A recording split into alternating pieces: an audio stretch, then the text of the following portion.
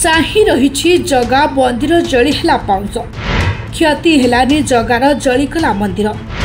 ମନ୍ଦିରରେ ନିଆଁ ଲଗାଇଦେଲେ ଦଙ୍ଗାକାରୀ। ମନ୍ଦିର ଜଳିଗଲା ହୁତୁ ହୁତୁ ହୋଇ ଜଗା ଚାହିଁ ରହିଛି। ନା ଦଙ୍ଗାକାରୀକୁ କିଛି କହୁଛି ନା ମନ୍ଦିର ଜଳିବା ବନ୍ଦ କରୁଛି। ବୋଧେ ଜଗା ଭାବୁଛି ଏ ପାପୀ ମଣିଷ କେତେ ବାଟ ନିଜ ଗର୍ବ ଦେଖାଇ କେତେ କ'ଣ କ୍ଷତି କରୁଛନ୍ତି କ୍ଷତି କରନ୍ତୁ। ଏ ଦୃଶ୍ୟକୁ ଦେଖନ୍ତୁ। ମନ୍ଦିର ଜଳି ପୋଡ଼ି ପାଉଁଶ ହୋଇଯାଉଛି।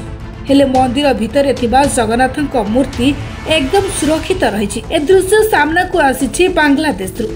ବିକ୍ଷୋଭକାରୀ ଏବେ ହିନ୍ଦୁଙ୍କୁ ଟାର୍ଗେଟ କରିବା ଆରମ୍ଭ କରିଛନ୍ତି।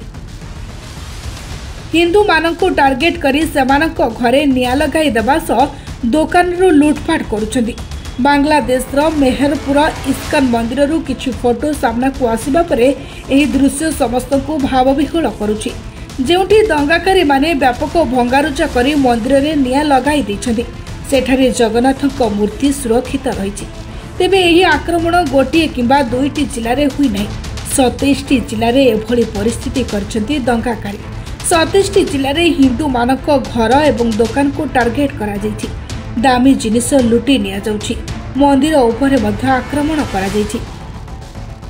ଲାଲମନିର ହାଟ ସଦର ଉପଜିଲ୍ଲାରେ ହିନ୍ଦୁ ଧାର୍ମିକ କମିଟିର ସଚିବ ପ୍ରଦୀପ ଚନ୍ଦ୍ର ରାୟଙ୍କ ଘରେ ବ୍ୟାପକ ଭଙ୍ଗାରୁଜା କରାଯାଇଛି ଦଙ୍ଗାକାରୀମାନେ ମ୍ୟୁନିସିପାଲିଟି ସଦସ୍ୟ ଲାଲ ମନିରହାଟ ସଦର ଉପଜିଲ୍ଲାପାଳରେ ହିନ୍ଦୁ ଧାର୍ମିକ କମିଟିର ସଚିବ ପ୍ରଦୀପ ଚନ୍ଦ୍ର ରାୟଙ୍କ ଘରେ ବ୍ୟାପକ ଭଙ୍ଗାରୁଜା କରାଯାଇଛି ଦଙ୍ଗାକାରୀମାନେ ମ୍ୟୁନିସିପାଲିଟି ସଦସ୍ୟ ମୋହିନ ରୟଙ୍କ କମ୍ପ୍ୟୁଟର ଦୋକାନକୁ ମଧ୍ୟ ଭାଙ୍ଗି ଦେଇଛନ୍ତି କାଲିଗଞ୍ଜ ଉପଜିଲ୍ଲାର ଚନ୍ଦ୍ରପୁର ଗ୍ରାମରେ ଚାରି ହିନ୍ଦୁ ପରିବାରର ଘରେ ଭଙ୍ଗାରୁଜା କରି ଲୁଟପାଟ କରିଛନ୍ତି।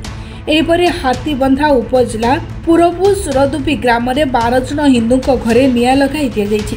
ତେବେ ଏହିସବୁ ମଧ୍ୟରେ ମନ୍ଦିରରେ ନିଆଁ ଲଗାଇ ଦେଇଥିବା ବେଳେ ମନ୍ଦିର ଭିତରେ ଜଗନ୍ନାଥଙ୍କ ମୂର୍ତ୍ତିକୁ ସୁରକ୍ଷିତ ଥିବା ଦେଖି ଲୋକେ ଚକିତ ହେଉଛନ୍ତି।